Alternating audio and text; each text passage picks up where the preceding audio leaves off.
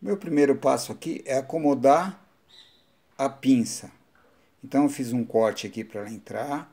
Aqui, como eu não tenho dobradeira, isso aqui é uma chapa de 3 milímetros. Eu pego a, a, a lixadeira com disco bem fino, abro um corte em linha reta, pequeno, e dobro. Então assim ele vai ser, dar um dobra, uma dobra retinha, sem nenhum problema. Depois que tudo estiver pronto, furar direitinho, eu venho, encho de solda aqui e por baixo e do acabamento. Quer dizer, eu vou deixar essa parede ainda mais grossa ainda. Porque se deixar assim, corre o risco de quebrar, porque a parede ficou muito fininha. É uma chapa de 3 milímetros. Então, esse é o primeiro passo para acomodar a pinça.